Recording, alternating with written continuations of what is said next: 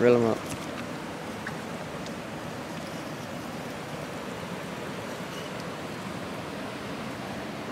Look at that stripe on his head. Whoa. That is very unusual. It's cool. Yeah.